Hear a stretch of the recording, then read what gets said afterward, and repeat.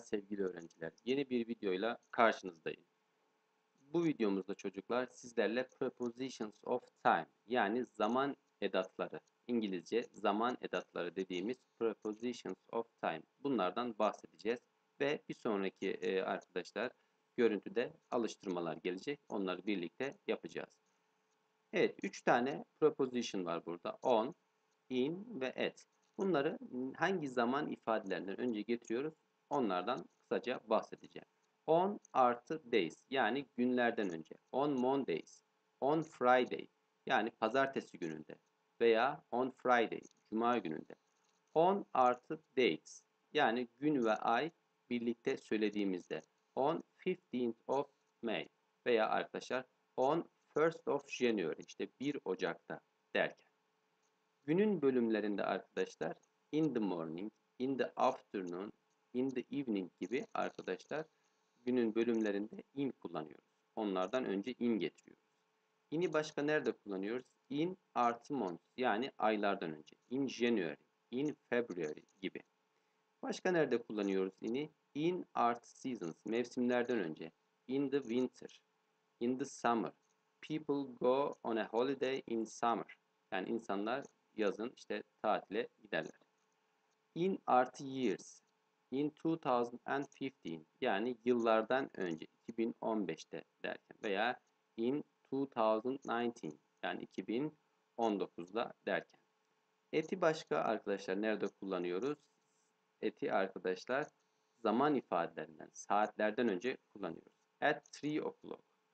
Mesela after school I go back home at half past 3 p.m.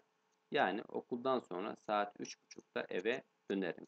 Yani saat 3'te, saat 5'te veya saat 7'de derken. Eti başka nerede kullanıyoruz? Et ifadesini at the weekend, at the weekend ve at night. Yani hafta sonlarında ve gece derken. Şimdi alıştırmalarımız gelsin. Evet, farklı zaman ifadeleri var. Aylar, günler, arkadaşlar saatler, farklı zaman ifadelerimiz var. Uygun preposition'a göre uygun zaman ifadesini seçeceğiz. Önce on'la başlayalım. On için arkadaşlar neleri kullanabiliriz? Tabii ki on 25th of April yani 25 Haziran'da. Başka neyi kullanabiliriz? On Thursday yani Perşembe günlerinde. Başka bakıyorum sırayla. On Sunday arkadaşlar. Başka nerede kullanabilirim? On Friday afternoon. Bu arada şunu söyleyeyim çocuklar. Siz de videoyu durdurup e, el önünüzde bir kağıt ve kalemle veya defterle arkadaşlar siz de yazabilirsiniz. E, siz de kendinizi bu şekilde doğru yapıp yapmadığınızı kontrol edebilirsiniz. Evet. On preposition'ından sonra arkadaşlar bunları getiriyorum.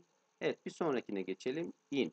Peki yani bu in'i arkadaşlar hangi zaman ifadelerinin önce kullanabilirim? Sırayla geçelim arkadaşlar.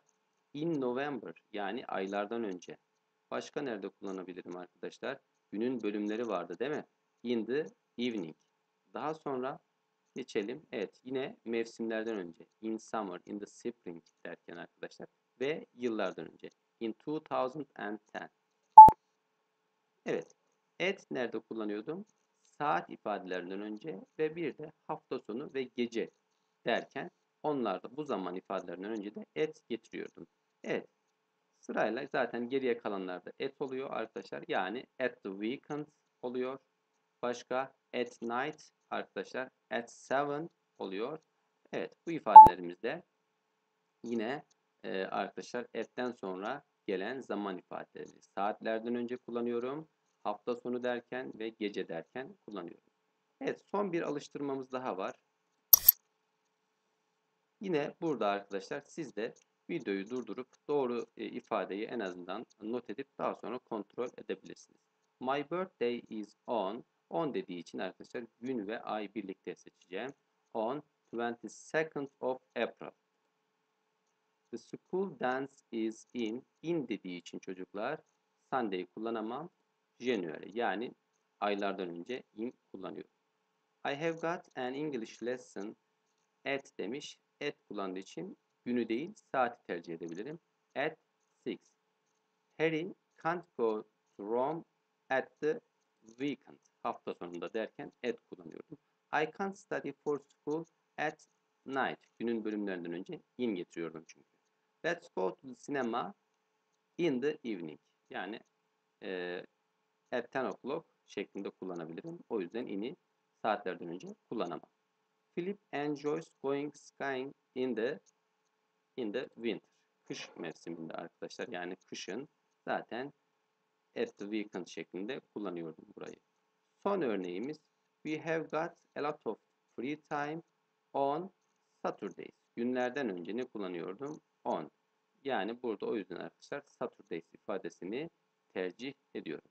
Evet bu şekilde çocuklar prepositions of time yani zaman ifadeleri özellikle en çok kullanılan 3 tane zaman ifadesini örneklerle ekstra çalışmalarını size göstermek istedim.